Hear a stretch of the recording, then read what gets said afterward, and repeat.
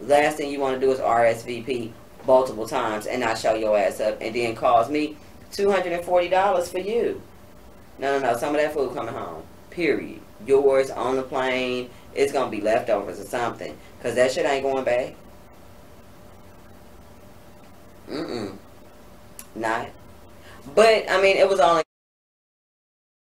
And this is Lala News 3, and thanks for tuning in to another episode. And in this episode, I'll actually be speaking about the invoices that were actually sent to no-show guests of a wedding, which was kind of a interesting thing. So, um, and you guys probably heard about it because it went viral. Everybody was talking about it, but I decided to want to talk about it too because it sounded juicy, and so I went, and now we're here.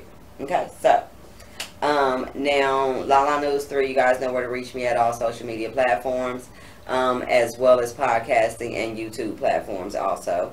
Um, and then this is filmed at Solid State Studios, so you guys know to contact me for any rental space that you guys may need in order for your podcast or for a studio recording. So, um, but in the invoice for no show guest episode, um, Douglas and Deetra Simmons, those were the marrying parties, um, and they actually were having their wedding in Jamaica. So, um, they you know, that involves flights and all of that. So keep that in mind. I'm saying that for a reason because, okay. So, um, now, they check with um, guests, they say four times.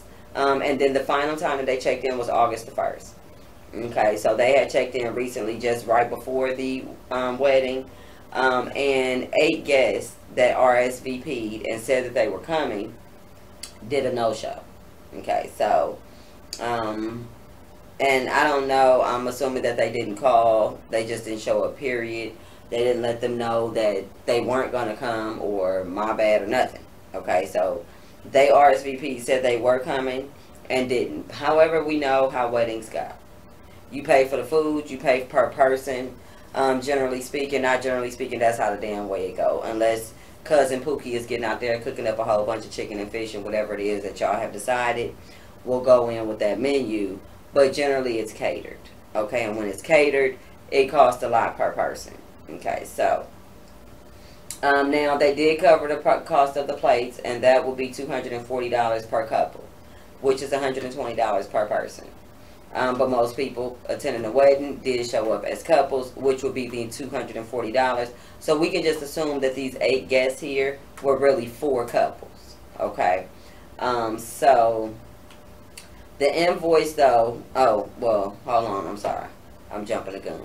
So they returned home and then they posted an invoice on Facebook um, for a no call, no show guest, and then posted a $240 um, or $120 times two, depending upon what their situation was. They did list there that it was just that no show, oh, no call, no show.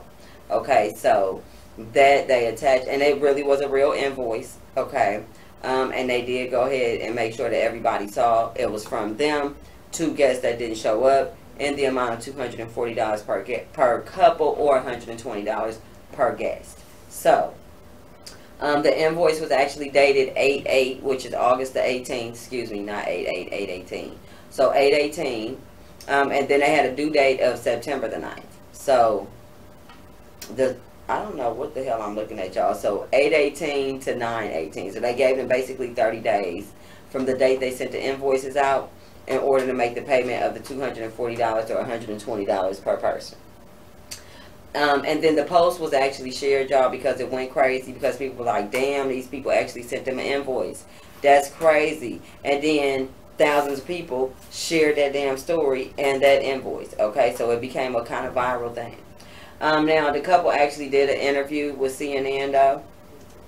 Um, and they said that some couples actually did reach out to pay them back as far as for the money, and they actually declined because it was just a teachable moment for them, and they wanted to let them know that that shit was disrespectful. They didn't say shit, I'm saying shit, but they wanted people to know that it was disrespectful and how they felt about it, considering the fact they invited you to their wedding. And then you have to take into account as well I guess maybe some people may not have been able to afford the plane tickets and you know what I'm saying that, but they didn't have to pay for um, their food or any of that, you know, anything of that nature. I don't know who was paying for the housing accommodations um, or if everybody was paying for their own hotel, or how that actually went down. But we do know for the no call, no show people, they did receive a damn invoice for that $240 per couple so that they can get their damn money back. However, it wasn't even that. It was a joke, and it was to let them know that maybe their feelings were hurt um, and how they generally felt about it. But um, I thought that it was funny as hell. I'm sorry. The couple actually said that they admitted that they were being petty um, just so people could know how it felt. But people took it, you know, took it one way and then ran with it in that aspect. However, they were just being petty. And that's what the wife said out of her own mouth. Like, I was just being petty. Um, and we really didn't expect the money back. People had actually reached out. was like, you know what, my bad. Let me send you that, blah, blah, blah. So some people maybe didn't do it out of malicious intent.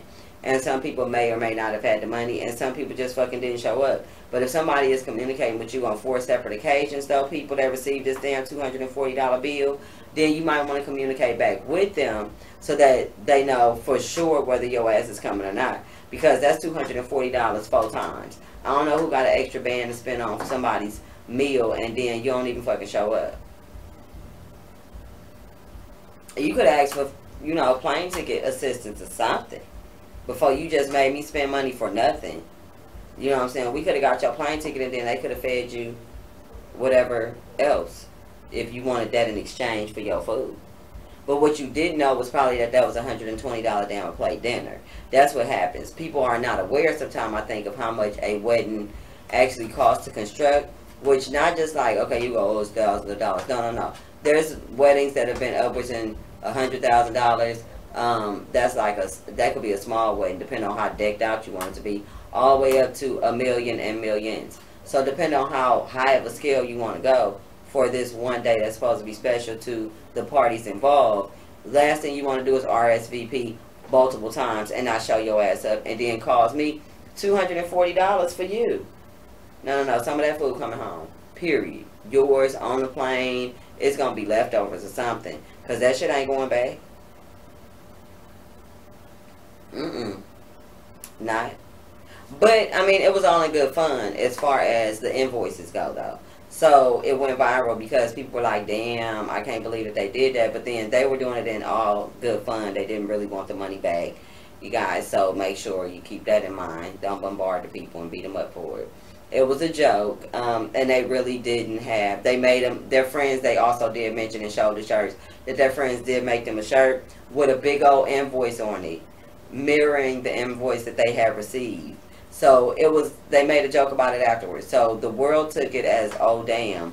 But the inside crew, which would be her, her husband, and um, the people that they're involved with that they sent the invoice to know where they generally came from from it. So, um, but let me know what you guys think. Would you feel funny about receiving an invoice if you didn't RSVP? Should we start doing all of that invoicing when people don't show up to parties or to events or things that you have invited them to generally? Is that a thing um, to make to cover some of the costs that you've incurred by someone not showing up if they've already committed? Not just people when you throw a party and then nobody shows up, so your feelings is hurt. No, I mean like people have committed four times to RSVPing, which you've reached out to assure this that it wouldn't be no money lost, and your ass lost money because these people were incompetent or just didn't respect your friendship or maybe just didn't want to say they was broken, couldn't do it, or maybe been tied up. Whatever the situation was, you didn't know, so you sent the damn invoice out. So everybody needs to be okay with their response. Okay? Because when nobody okay or uh, everybody was okay when they were spending that extra thousand dollars for people that didn't show up. So keep that same energy, people. Anyway, let me know what you guys think. This is Lala News 3. I'm filming at Solid State Studios.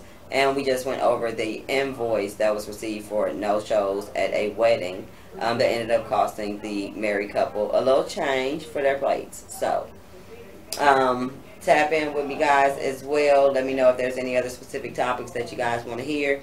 And this is Lala News 3 and I'm out.